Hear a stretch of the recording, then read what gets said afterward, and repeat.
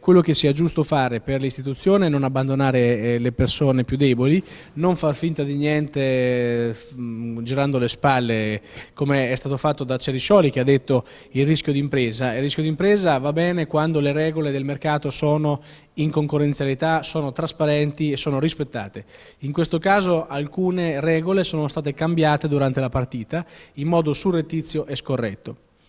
Quindi eh, ritengo che sia giusto creare, visto che siamo in fase di approvazione di bilancio, un fondo di solidarietà per aiutare le persone che hanno perso tutto e ovviamente di questi soltanto coloro che hanno un reddito basso, cioè quindi utilizzando il modello ISE capire chi sono le famiglie colpite in modo drammatico da questa vicenda e che non hanno risorse proprie per andare avanti. E credo che in questo caso sia un bel gesto anche di chi si prende carico di certe situazioni che in un momento come questo possono rappresentare per i marchigiani e per le marche una seconda crisi dopo quella del 2008.